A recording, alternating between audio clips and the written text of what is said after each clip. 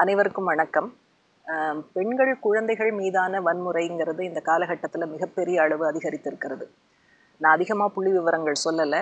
ஒரே ஒரு விவரத்தை நான் சொல்லணும்னு நினைக்கிறேன். அப்போ தான் வந்து இந்த பிரச்சனையினுடைய தீவிரம் இந்த பிரச்சனையினுடைய ஆழம் இந்த பிரச்சனையினுடைய அடர்த்தியை நம்ம வந்து புரிஞ்சுக்க முடியும்னு நினைக்கிறேன். ஒவ்வொரு பதினைந்து நிமிடத்திற்கும் ஒரு முறை ஒரு குழந்தை பாலியல் வல்லுறவுக்கு உள்ளாக்கப்படுகிறது. அதே போல ரெண்டாயிரத்தி பதினாறு என்கிற ஒரே ஒரு வருடத்தை எடுத்துக்கொண்டால் பதிவு செய்யப்பட்ட பாலியல் வல்லுறவு வழக்குகள் மட்டும் இந்தியா முழுக்க நாற்பதாயிரம்.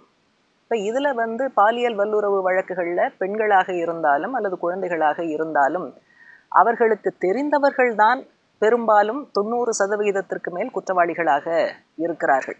பொதுவாக நம்ம என்ன சொல்லுவோம்? வீட்டை விட்டு வெளியில் போகும்போது வேத்தாளோட பேசாத அஹ் நீ தலையை குனிஞ்சிட்டு போ தலையை குனிஞ்சிட்டு வா இந்த மாதிரியான சில எச்சரிக்கைகளை கொடுத்து நம்ம வந்து பெண் குழந்தைகளை அனுப்புகிறோம் ஆனால் தெரிந்தவர்கள் தான் இந்த கொடுமையை இந்த குற்றத்தை செய்கிறார்கள் என்று சொல்லும்போது அதை வந்து வேற கொஞ்சம் வித்தியாசமாக பார்க்க வேண்டி இருக்கிறது இதற்கான காரணங்கள் என்ன நம்ம ஆய்வு செய்ய வேண்டியிருக்கு.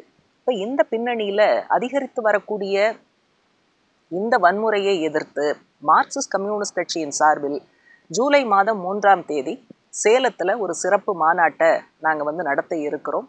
கட்சியினுடைய அரசியல் தலைமைக்குழு உறுப்பினர் அஹ், பிருந்தா கராத் அதே போல கட்சியினுடைய தமிழகத்தினுடைய மாநில குழுவினுடைய செயலாளர் தோழர் பாலகிருஷ்ணன். இவர்கள் உட்பட பல்வேறு தலைவர்கள் கலந்து கொள்ளக்கூடிய மாநாடாக அது நடைபெற இருக்கிறது. பொதுவாக இந்த மாநாட்டை ஒரு அரசியல் கட்சி ஏன் நடத்த வேண்டும்? இது வந்து பெண்களுடைய பிரச்சனை பெண்கள் அமைப்பு பார்க்காதா? குழந்தைகளுடைய பிரச்சனை குழந்தைகளுடைய அமைப்பு பார்க்காதா? அப்படிங்கிற கேள்வி இருக்கு.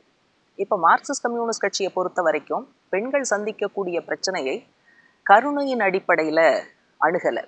இப்போ வந்து இடதுசாரிகள் தவிர மற்ற முதலாளித்துவ கட்சிகளுக்கு எழுத்து மூலமான ஒரு திட்டம் இந்த நாட்டில் என்ன செய்ய போகிறார்கள் என்ன மாற்றத்தை கொண்டு வரப்போகிறார்கள் என்கிற ஒரு திட்டம் இருக்கிறதாங்கிறது நமக்கு தெரியலை.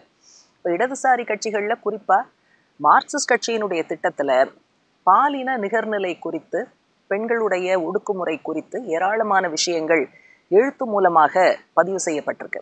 அதில் ஒரு முக்கியமான அம்சம் என்னன்னா பெண்ணுரிமைக்காக அல்லது பெண் சமத்துவத்திற்காக நடத்தப்படுகிற போராட்டம் என்பது ஜனநாயகத்திற்கு நடத்தப்படுகிற போராட்டத்தினுடைய ஒரு பகுதி.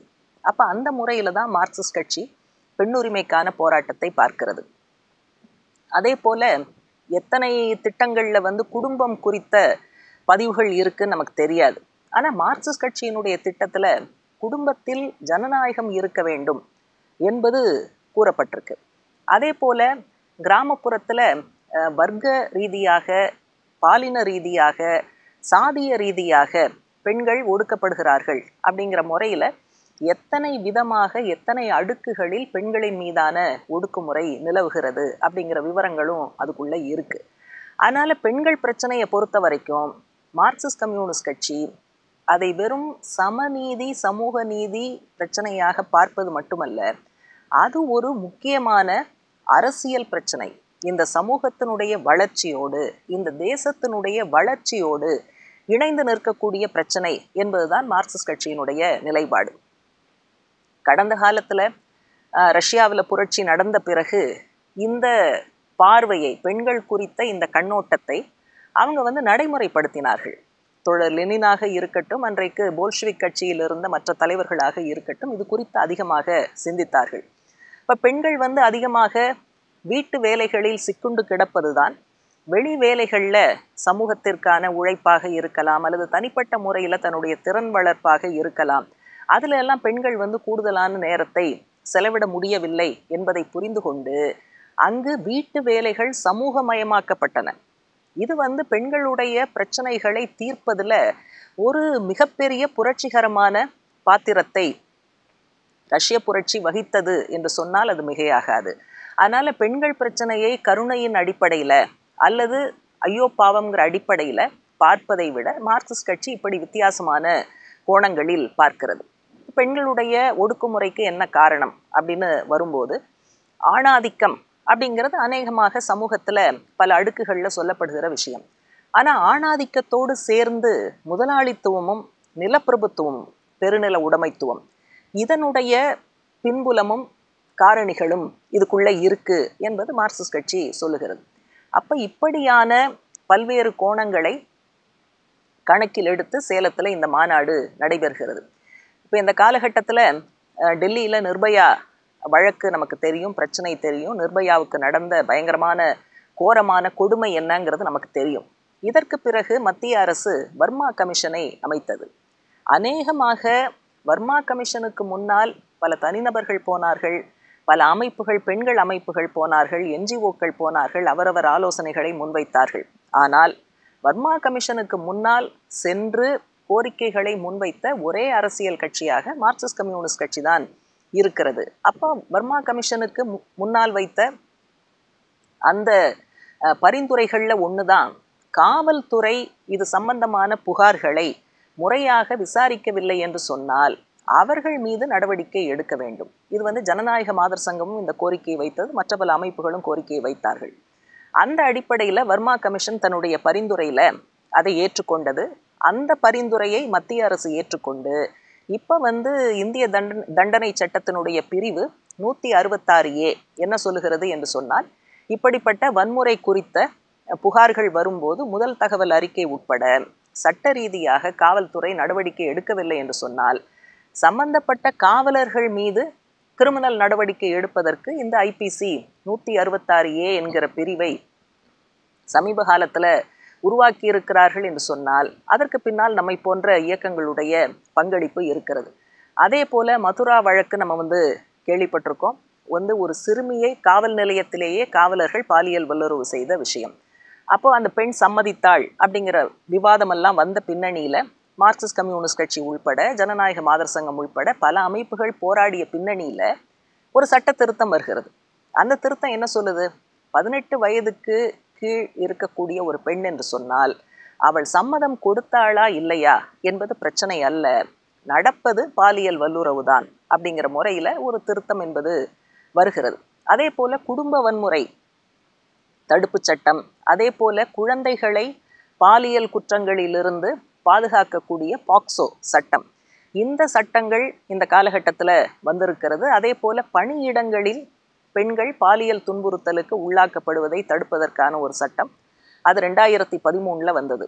அப்போ சட்டத்துறையில் இப்படி பல புதிய சட்டங்கள் பெண்களையும் குழந்தைகளையும் பாதுகாக்க வந்திருக்கிறது என்று சொன்னால் அதற்கு பின்னணியில் அரசனுடைய ஏதோ தாராளமாக அவர்கள் செய்கிறார்கள் என்பது கிடையாது. மாறாக பல ஜனநாயக அமைப்புகள் மார்க்சிஸ்ட் கட்சி போன்ற அரசியல் கட்சிகளுடைய இடைவிடாத போராட்டத்தின் காரணமாகத்தான் புதிய சட்டங்கள் வந்திருக்கின்றன. பழைய சட்டங்களில் திருத்தங்கள் வந்திருக்கின்றன. இந்த சட்டங்களை எல்லாம் முறையாக அமல்படுத்த வேண்டும் என்கிற போராட்டங்களிலும் நிச்சயமாக மார்க்சிஸ்ட் கம்யூனிஸ்ட் கட்சி முன்னுக்கு நிற்கிறது. இப்போ தமிழகத்தில் நீங்கள் வந்து வாச்சாத்தியை எடுத்துக்கொண்டால் வனத்துறை வருவாய்த்துறை காவல்துறை மூன்று துறைகளிலும் குற்றவாளிகள். பழங்குடியின பெண்களும் ஆண்களும் கடுமையாக பாதிக்கப்பட்ட அந்த பிரச்சனையில் பதினெட்டு ஆண்டு காலம் மலைவாழ் மக்கள் சங்கம் அதே போல மார்க்சிஸ்ட் கம்யூனிஸ்ட் கட்சி ஜனநாயக மாதர் சங்கம். ஒட்டுமொத்தத்தில் செங்கொடி இயக்கம் பதினெட்டு ஆண்டுகள் அந்த பாதிக்கப்பட்டவர்களோடு இணைந்து நின்று அத்தனை குற்றவாளிகளுக்கும் தண்டனை பெற்றுக் கொடுத்தது. அதே போல சின்னாம்பதியில் பாதிக்கப்பட்ட மலைவாழ் பெண்கள். அதே போல அண்ணாமலை சிதம்பரம் அண்ணாமலை நகர் காவல் நிலையத்தில் பத்மினிக்கு நடந்த அந்த கொடுமை. இப்படி ஏராளமான விஷயங்கள். அண்மை காலத்தில் நடந்திருக்கக்கூடிய குழந்தைகள் மீதான பாலியல் வன்முறை உள்பட எல்லா பிரச்சனைகளிலும் களத்திலே ஜனநாயக மாதர் சங்கமோ அல்லது மார்க்சிஸ்ட் கட்சியோ நிற்கிறது என்பது மறுக்க முடியாத உண்மை. ஆகவே இது ஏதோ ஒரு அரசியல் கட்சி அல்லது ஒரு அமைப்பு சேர்ந்து தடுத்துவிடக்கூடிய விஷயம் அல்ல. பாடத்திட்டங்களில் பெண் சமத்துவ கருத்துக்கள் வருவது கிடையாது. மாறாக பாரதிய ஜனதா கட்சி மத்தியிலும் சரி அவர்கள் ஆளக்கூடிய மாநிலங்களிலும் சரி பெண் சமத்துவத்தை ஏற்பது கிடையாது. மாறாக பெண்ணை இரண்டா இரண்டாந்தர பிரஜையாக குடும்பத்தை பார்த்து கொண்டு ஆண் குழந்தையை பெற்றெடுத்து கொடுக்கிற அப்படிப்பட்ட ஒரு பிறவியாக மட்டும் உருவகப்படுத்துகிற ஏற்பாடு பாடப்புத்தகங்களிலே மாற்றங்களாக வந்து கொண்டிருக்கிறது என்பதை பார்க்கிறோம். இந்துத்துவா கருத்தியல்ல நிச்சயமாக பெண் சமத்துவம் என்பது கிடையாது. அதே போல இன்றைக்கு தமிழகத்தில் அதிகரித்து வரக்கூடிய சாதி ஆணவ கொலைகளின் மையம் என்ன? ஒரு பக்கம் சாதிய ஒடுக்குமுறை மறுபக்கம் ஆணாதிக்கம்.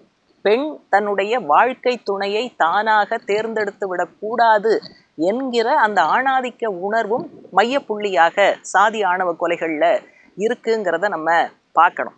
அப்போ அனைவரும் சேர்ந்து கரம் கோர்ப்பதன் மூலமாகத்தான் சமூகத்தினுடைய சரிவாதியாக இருக்கக்கூடிய பெண்கள் அதே போல குழந்தைகளை ஒரு பாதுகாப்பாக அவர்களது வாழ்க்கை அவர்களது உரிமை அப்படிங்கிற முறையில் அவர்களது உணர்வுகளுக்கும் விருப்பங்களுக்கும் மதிப்பு கொடுப்பதாக ஒரு கண்ணியமிக்க வாழ்க்கையை அவர்கள் வாழக்கூடிய நிலைமையை உருவாக்க என்ன உடுத்துவது என்ன உண்ணுவது யாரை திருமணம் செய்து கொள்வது யாரோடு நட்பாக இருப்பது என்ன படிப்பது என்ன வேலைக்கு போவது என்கிற அத்தனை வாழ்க்கை பிரச்சனைகளிலும் பெண்கள் தங்களுடைய சுயமான முடிவை எடுக்கக்கூடிய ஒரு சூழலை ஏற்படுத்த வேண்டும் என்று சொன்னால் அரசியல் ரீதியாக பொருளாதார ரீதியாக சமூக ரீதியாக பண்பாட்டு ரீதியாக நிறைய மாற்றங்கள் வர வேண்டிய அவசியம் இருக்கிறது.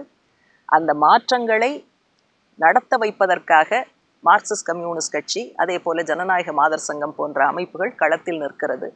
எங்களோடு இணைந்து எங்களோடு கரம் கோர்த்து ஆயிரம் கருத்து வித்தியாசம் இருந்தாலும் இந்த முக்கியமான பிரச்சனையில் எங்களோடு நீங்கள் இணைய வேண்டும். அதனுடைய ஒரு பகுதியாக சேலம் மாநாட்டிற்கு நீங்கள் ஆதரவளிக்க வேண்டும். சாத்தியப்பட்டவர்கள் சேலம் மாநாட்டிற்கு நேரடியாக வந்து உங்களுடைய ஆதரவை தெரிவிக்க வேண்டும். ஒரு சமூகத்திலே பெண்கள் எப்படி இருக்கிறார்கள் எந்த அளவுக்கு வளர்ச்சி அடைந்திருக்கிறார்கள் என்கிற அளவுகோலை வைத்துத்தான் ஒரு தேசம் முன்னேறி இருக்கிறதா இல்லையா என்கிற முடிவுக்கு போக முடியும். இன்றைய இந்தியாவை முழுமையாக மாற்ற வேண்டிய அவசியம் இருக்கிறது. அனைத்து வித ஒடுக்குமுறைகளிலிருந்தும் இந்தியாவை விடுவிக்க வேண்டிய அவசியம் இருக்கிறது. அதிலே இருக்கக்கூடிய ஒரு முக்கிய ஒடுக்குமுறையான பாலின ஒடுக்குமுறையை தகர்த்தெறிய நாம் அனைவரும் கரம் கோர்க்க வேண்டும் என்று அன்போடு கேட்டுக்கொள்கிறேன்.